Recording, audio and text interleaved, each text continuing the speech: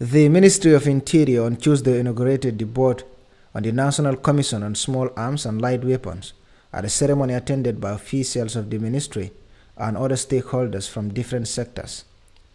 The Executive Secretary Ibrahim Akambi explains the goal of the commission. Our goal enhance public peace and security through regulation, control, and management of the circulation of small arms and light weapons and other related materials, which are the major tools for any arms conflict, gun violence, through advocacy and uh, public sensitization to raise awareness. One of the objectives of the Commission is to contribute to the provision and enhancement of the internal security for human safety, protection, and peace in the country.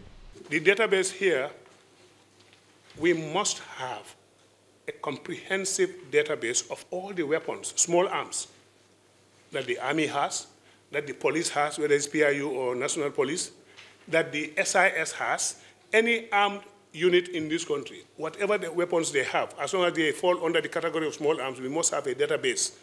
We must register all of them in our central database here.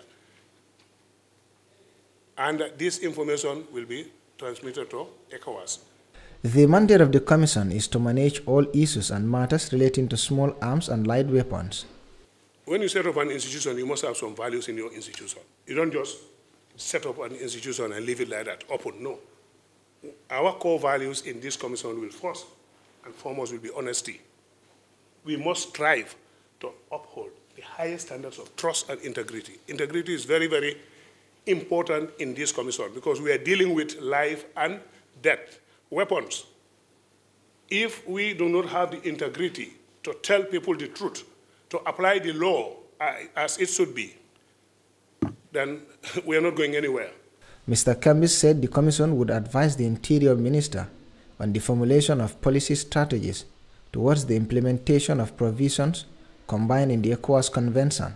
So it's the Commission's responsibility to advise the Interior Minister according to the Act in in his attempt to formulate policies and strategies that will go to the National Assembly for ratification or approval.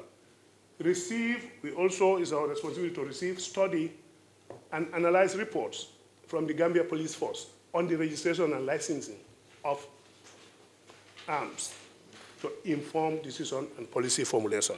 The Commission exists to combat and prevent the proliferation of small arms and light weapons and related materials in the country. It is also part of their mandate to coordinate national implementation of the ECOWAS Convention on Small Arms and Light Weapons, their ammunition and other related materials. The Commission also meant to ensure the Gambia's compliance to the United Nations Firearms Protocols. Reporting for Kerr Fatou, I am Bubagajiwa.